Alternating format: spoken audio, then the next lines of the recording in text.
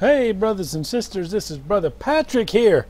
Uh, still in the Old North State. It's the, I don't know why they call North Carolina the Old North State. That's the state, the nickname.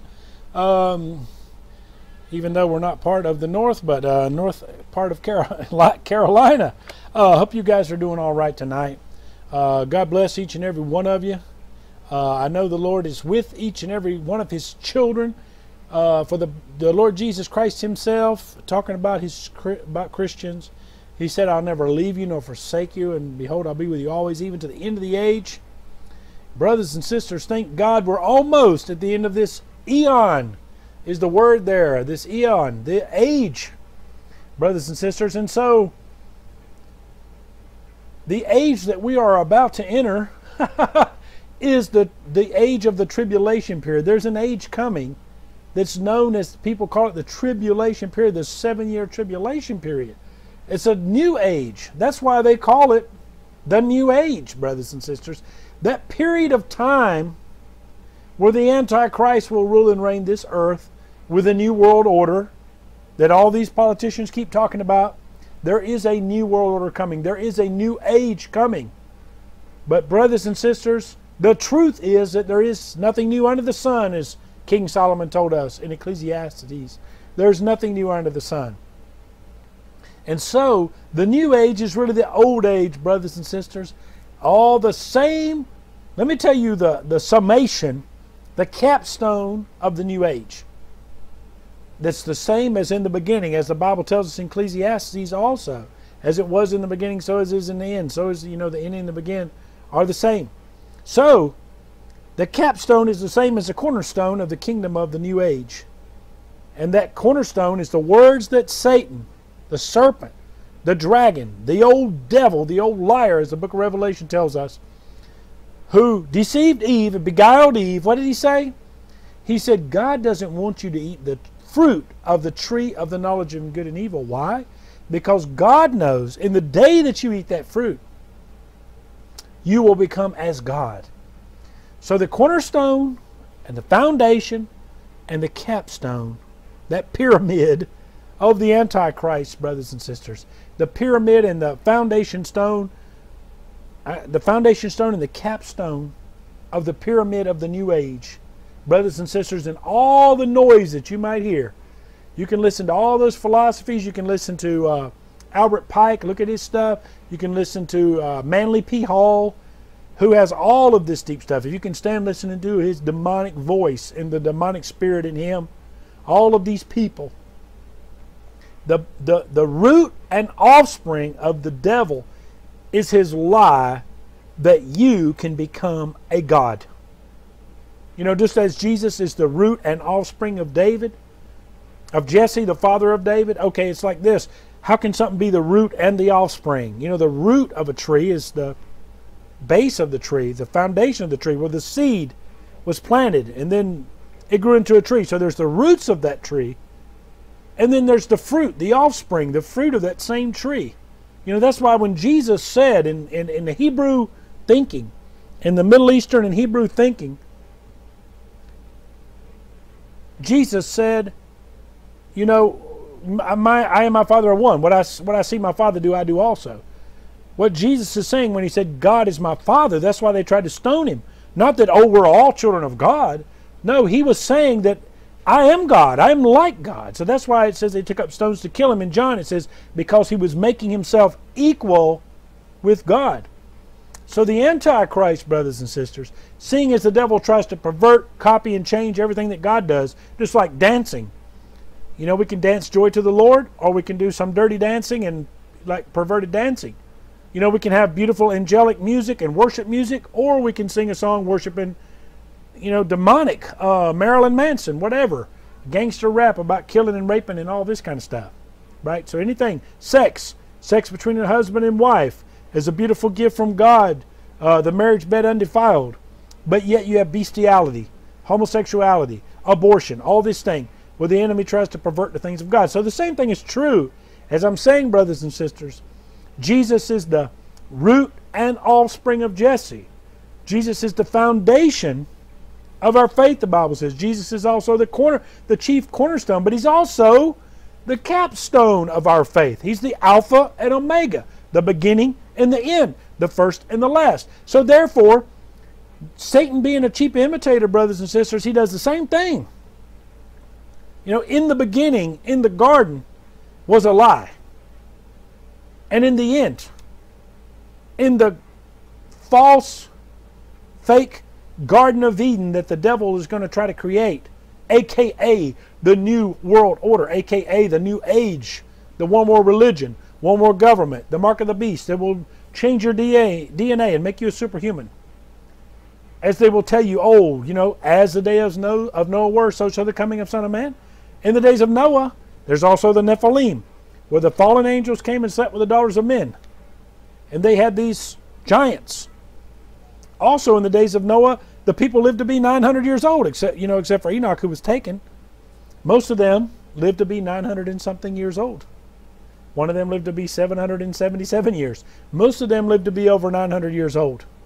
So, as in the days of Noah were, as the Lord Jesus Christ said, we also see the parallel, the perversion of that, that the, the New World Order will tell you, oh, when you take the mark of the beast, your DNA will be changed. You will become a Gibor. You will be, as the Hebrew word for a mighty hunter, a mighty man, a Superman, Batman, all those superheroes that they're promoting. You'll be like them. You'll be like a god, a demigod, like all these movies, Clash of the Titans and all that stuff.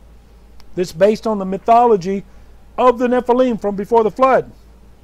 And you will be like God. You will live for a thousand years when you take this chip. Your DNA will change. And if there was no return of Christ and everything was a real paradise on earth, those people would probably live to be a thousand. That part's not a lie. Their DNA will be changed. They will not be getting sick and things like that. Other than what God is going to be doing with his uh, plagues during the tribulation period. So they will be receiving a superhuman, Gibor form body, like Nimrod, the Bible says. Nimrod became a Gibor. The word Gibor is also used for the, the, it says in Genesis when it talks about the giants, it says they were the mighty men of old, men of renown. See, the King James make it sound like they were great. No, what it means, renown means they're famous. They were, but the the Hebrew word in the text is they became Gibborim. Gibborim. Anytime in Hebrew, this is a FYI, as far as I know, always in Hebrew. When you have the I am on there, it's plural. And singular, Gibor is singular Gibborim, plural. Just like with Elohim. That's why it says, let us make man in our image. God said, let us make man in our image. Let us go down and confound their languages, like at the Tower of Babel. So the us, who's the us? God the Father, God the Son, and God the Holy Spirit. The Trinity is right there. So that's why it's Elohim. You know, the scholars uh, also say there's a secondary thing. It's like when in, in the book of Revelation, we see the the the uh, seraphim flying around the throne of God, and they're saying, uh, you know, the four living creatures, and they're saying, "Holy, holy, holy is the Lord God Almighty, who was and is and is to come." So, in Hebrew also, and in the the thinking of the way God operates, God's name is also a plurality in the fact that He is holy, holy, holy, one holy for each God the Father, God the Son, and God the Holy Spirit, and it magnifies the holiness of God. God's not just holy, He's holy, holy, holy in the things of God. And the Lord is just speaking to me right now, something I've never thought about. Thank the Lord by His grace. His Lord has restored my confidence and my confidence in faith in the spiritual authority that He's given me. Thank you, Lord. I've been going through a personal lesson since I've been in the States been going through lots of hard times. You guys have followed my videos. And the Lord just told me tonight, you know, He's been training me and developing me to walk in the spiritual authority He gave me. You know, I, have been pretty meek and mild, and there's nothing wrong with being meek and mild as a Christian. The Bible tells us to be meek and all that stuff. But as a pastor, as a prophet of God, as a preacher, I have spiritual authority. We all have spiritual authority over the enemy. But God gives us different offices, and we have spiritual authority over people, whether they be non Christians or even Christians, we have authority. And I have not been exercising my authority. God has led me and developed me to exercise my spiritual authority, and I thank God for it. I have a new liberty and a freedom today, brothers and sisters. So I thank the Lord for the liberty and freedom to stand by faith in the authority that He gives.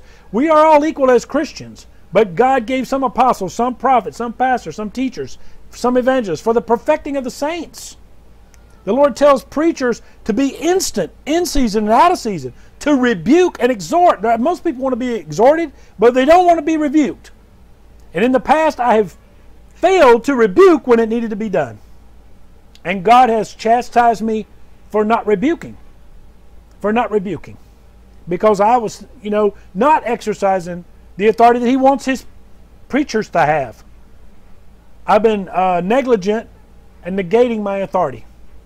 You know, I'm not the firstborn in my family. I'm the secondborn. It kind of goes with the territory, right? Uh, not to take that authority. But by the grace of God, God has raised me up and reminded me and even scolded me for not taking authority. So I will. Praise God. So let me get back to what I was saying. Um, and this is what the Lord just dropped on me as I shifted that subject. Uh, and I was talking about the holy, holy, holy, the Trinity. You know, and, and then the when you're talking about God, it's plural or tri triple, you know, uh, the Trinity. But God was just just dropped it in my spirit as I was saying that Jesus, when Jesus told something that was an absolute truth, as the Bible says, let everything be established by two or more witnesses. And Jesus quoted that himself when he spoke. But Jesus, when he would tell something that was a big time, important, foundational truth of his kingdom, he would say, Verily, verily, I say to you.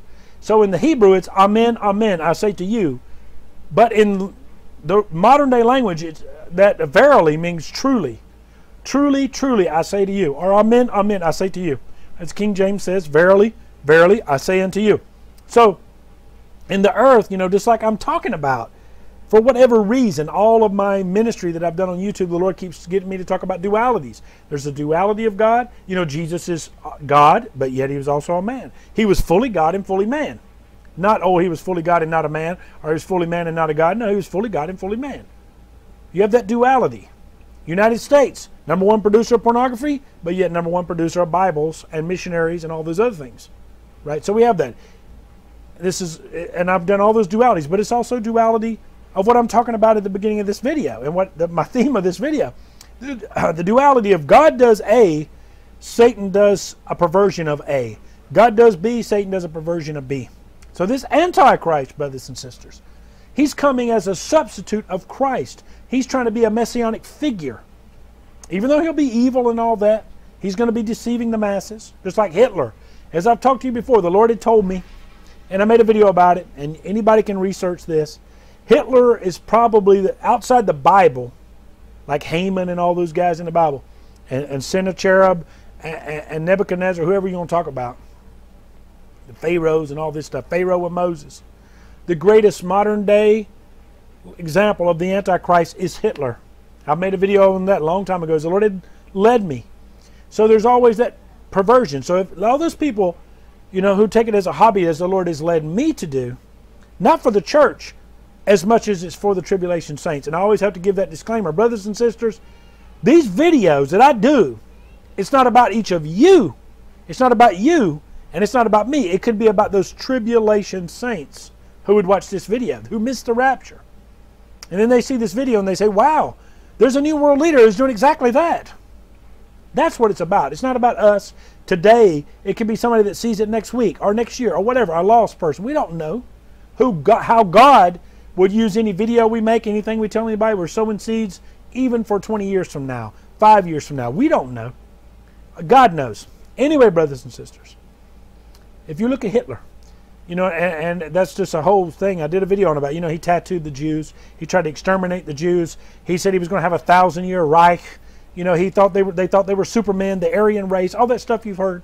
Actually, that comes from Madame Blavatsky in modern-day times, 1800s, the Theophilus Society. There's another woman that looks really innocent. Can't think of her name from the Theophilus Society. Uh, she wrote books, and these people wrote manifestos Madame Blavatsky, she wrote a, manifesto. I, I reference them in the back of my book. Let me read this to you. Uh, brothers and sisters, I also want to thank the Lord. I finally, you know, really made a video just about my book, and I told people you can get it on Kindle. You can get the book that God gave me to write on Kindle. Final boarding call, Satan's plan for the ages. I was talking about the ages, for all ages. and our last mission. Of course, the capstone of Satan's plan is the Antichrist, and he thinks he's going to have a thousand year reign like Hitler did, the Antichrist. But it'll only be seven years, and the Lord Jesus Christ will return to put an end of it. We call that the second coming of Christ. But before that tribulation period, brothers and sisters, there is a rapture, a snatching away. The Bible says rapture is simply the Latin form of the word to be caught up. From 1 Thessalonians chapter 4, verse 16, 17, and 18. In that text, it says the Lord himself shall descend from heaven with a shout, with the voice of the archangel and the trump of God, and the dead in Christ shall rise first, and those of us who are alive and remain shall be caught up together to meet the Lord in the air. Therefore, or wherefore in the King James, which means therefore, comfort one another with these words. All right, Madam Helena Blavatsky. In the back of my book, I put a suggested reading on the satanic roots of the New Age movement. Helena Blavatsky. Did you know that Elvis Presley, in his drug drug induced stupors, used to get on stage and quote from Helena Blavatsky's book, The Divine Plan? Yes, he did. Elvis Presley did that. How do I know that? Because Don Rickles, who used to introduce him sometimes in Las Vegas, is the one who told about it and wrote about it, talked about it. All right, Alice Bailey is the innocent looking woman I was referring to. These people are the ones. Hitler read their books and he developed all of his doctrines. People don't realize, you know, the world is not in history anymore. But we, you know, most of you guys, you know about what we call the master race. That's why they were killing the Jews.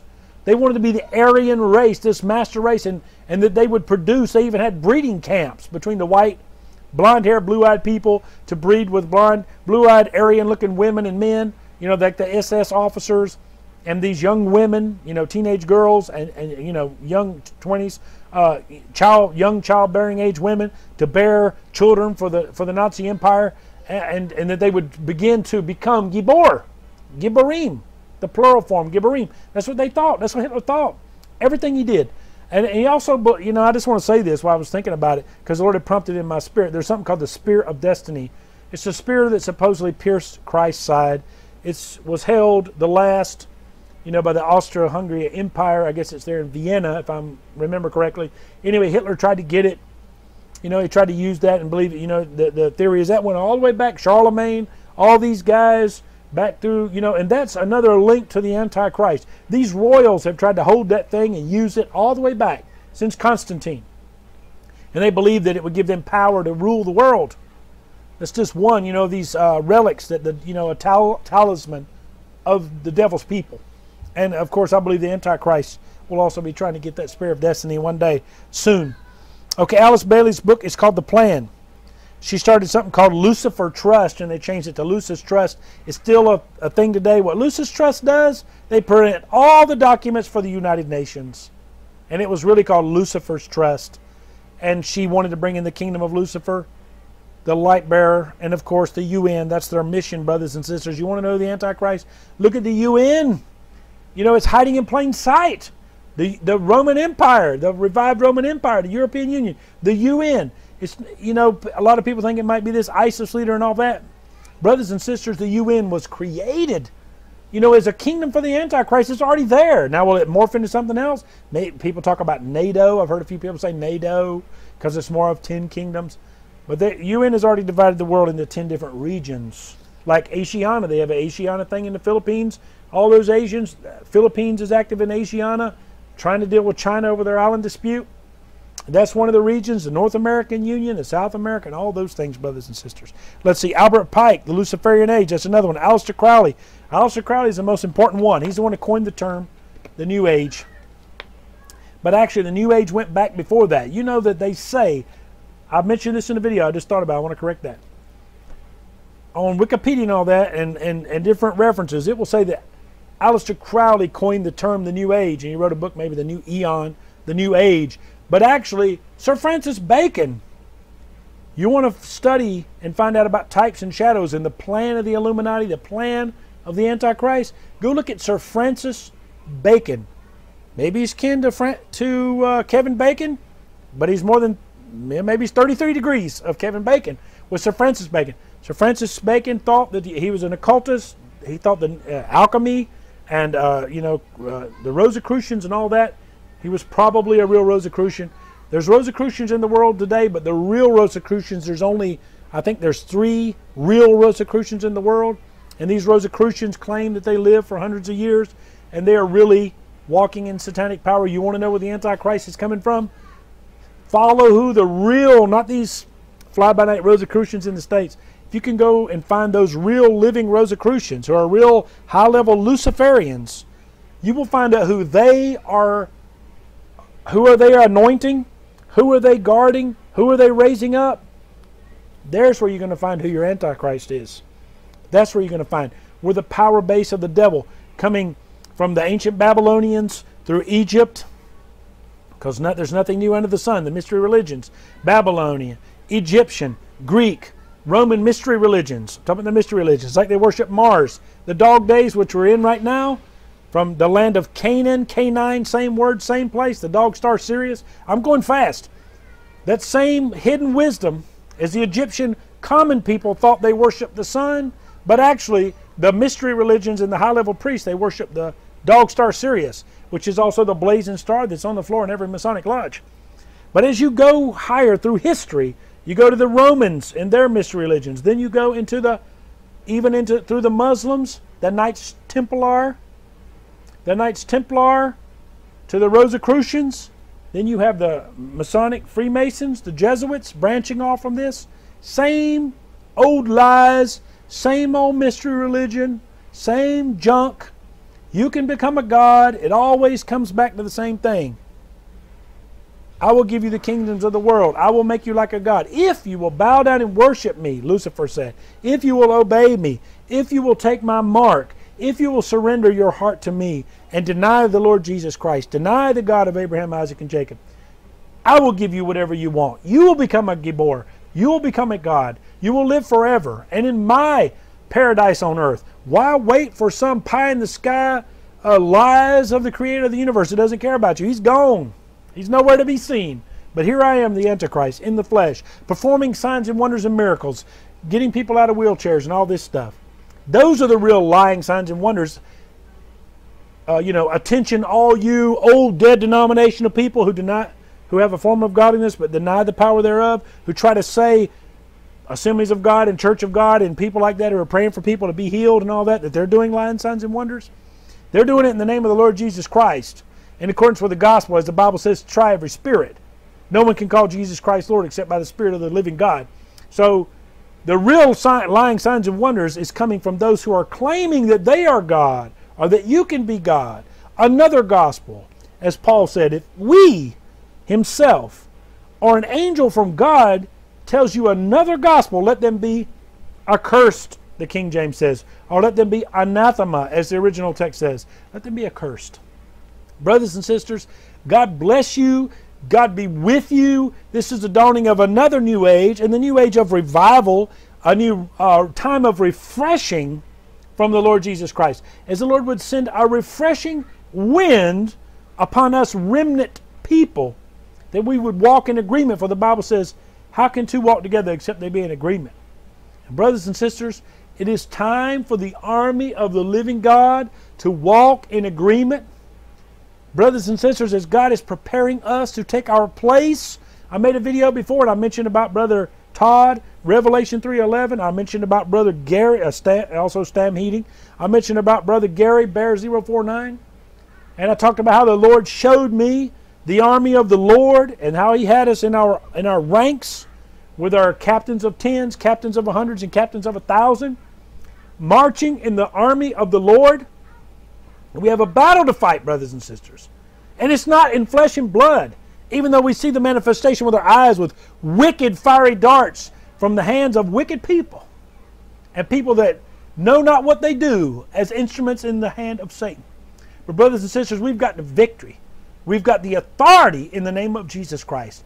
All things we can do through Christ who strengthens us. All the power of the enemy is under our feet, the Bible says.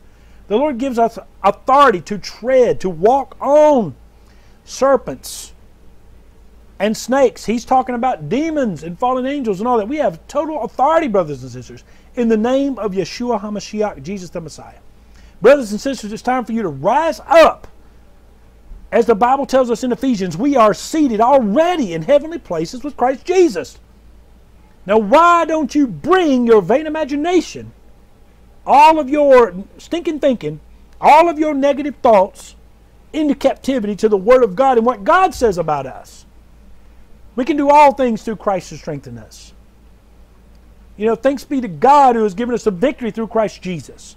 We were once in the kingdom of darkness, but we've been translated, the Bible says, from the kingdom of darkness to the kingdom of His dear Son, the Lord Jesus Christ.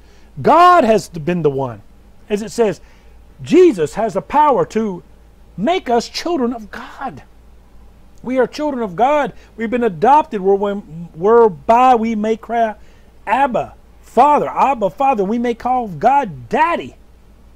Don't worry about speaking Hebrew. Don't worry about sacred names. We can call God Daddy. We can call him Father, Heavenly Father, our Father who art in heaven. Hallowed be thy name. Thy kingdom come, thy will be done in me as it is in heaven. Call upon his name, the Lord Jesus Christ, and he will make you a child of God, and then you can call God Father. I'm a child of God through adoption. How was I adopted? Through the blood of Jesus, through remission of my sins, through repentance. By grace I've been saved through faith, not of my own, but a gift of God not by any works that I could do, so that I can't boast. I've been saved, I've been redeemed, I've been set free. You know, the Lord has led me, and I need to do it. A video on salvation. I made a video, the last video I made. The Lord gave me that word Christ is my salvation. Brothers and sisters, all people think about salvation, they think about, oh, I'm going to go to heaven. That's just one piece. Just like when the children of Israel came out of, uh, out of, out of Egypt, they were, that was part of salvation. They were delivered set free, brought out. You know, going to heaven is just one part of being saved. We're being saved physically, spiritually, mentally. The Lord came to set the captives free. The Spirit of the Lord is upon me to set the captives free. Hallelujah. It's the spirit of liberty. Where the Spirit of the Lord is, there is liberty, brothers and sisters. You know, the kingdom, here's another clue the kingdom of Antichrist. It doesn't bring liberty, it brings bondage, a new world order, a police state, a dictatorship like Hitler, like what we're seeing in the United States. But I don't need to worry about those drones in the second heaven because I'm already seated with Christ Jesus in the third heaven, far above all powers, principalities, and lying devil spirits that I see and hear on earth. Deceptive, lying, deceitful, uh, intimidating, and, and distracting spirits. I'm seated far above them in heavenly places. So, you know, you and I, brothers and sisters, we need to take authority over those spirits right now in Jesus' name. Right now, I take a spirit, authority over those spirits in Jesus' name. I bind those lying spirits. I bind the forces of darkness away from you and away from me in Jesus' name. Let's come in agreement. Jesus said, Whatever two of you agree on anything is touching anything you bind on earth, it'll be bound in heaven. What you loose on earth, it'll be loose in heaven. Let's come in agreement. Right now, in the name of Jesus, Father, we bind we bind those lying spirits against that's coming against us in Jesus' name. We bind the darkness, spiritual darkness that's coming against each and every one of us, Father, in the name of Jesus. And we loose, Lord God, we loose, Lord God, our faith and come in agreement in Jesus' name for those warring angels from your throne, Lord, those ministering spirits, Lord, those holy angels to come right now, Lord, and break every hindrance, those brass ceilings, those brass heavens above your people right now, Father. I take authority in Jesus' name, and I declare that we are free. For those whom the Son has set free are free indeed. We are free, free, free in Jesus' name. We're free in Jesus' name. Even someone in prison. If you're watching this, I know some people ask me somebody about somebody in prison. I know I don't think they can watch YouTube videos. But Jesus said, For you who is a slave or a servant, you're God's free man. And someone that's a big boss in this earth, if you're a big old rich boss in this earth, you're the Lord's slave. So that none can claim and boast to be anything in this world. For we're all one in Christ. And through Christ Jesus, we will have the victory as one. How good and pleasant it is when brethren dwell together in unity. It is as the oil that runs down from Aaron's head, even to his beard, even to the hem of his garments. Psalm 133, verse 1. God bless you, brothers and sisters. The revival, the gathering of the army is brethren dwelling together in unity. And even as the Apostle John said in John chapter 1, those who went out from us, they were not of us. Because if they had been of us, they would not have went out from us. Brothers and sisters, lots of us are bending over backwards trying to deal with those who are outside the faith and all this kind of stuff. God didn't call us to that. God called us to have unity and go forward, and we can't we can't control anybody's mind. We have a, all of us have a free will. Brothers and sisters, we can have unity and with a bond of peace with those who the Lord would assign us to. You can't be assigned to be friends with everybody in the world. You can't be assigned, you know, you know, you can't have a church with a 10 million people in it. You, you know, you can be assigned to the community and the group that God assigns you to. Work with those who God connects you with. God bless you guys. I know I'm, I'm already over 30 minutes. This is my Sunday sermon. God bless you guys, for the kingdom of heaven is at hand. The kingdom of heaven is at hand, brothers and sisters. We're about to go home. That's the word that I hear from the Lord. The kingdom of heaven is at hand. You're about to go home. You're about to be with your Maker, the Most High God. I'm ready to do His will and go forward and do whatever the Lord would ask me to do, even to the point of death, by His grace. It's His grace. I can't do anything in my flesh. You can't do anything in your flesh. It's by His grace. Just like how we got saved by grace through faith. Same thing with anything God would do with you. It's by grace. It says there, and, and when they rebuild the temple to Zerubbabel, God's word to, to Zerubbabel through Zechariah. It's not by might nor by power, but by my spirit, saith the Lord. They will bring out the capstone to the new temple they were building with shouts of grace to it, grace to it. It's by grace. Grace. Amazing grace. How sweet the sound that saved a wretch like you and me. I once was lost, but now I'm found. I was blind, but now I see. For God is with us, and if God be for us, who can be against us?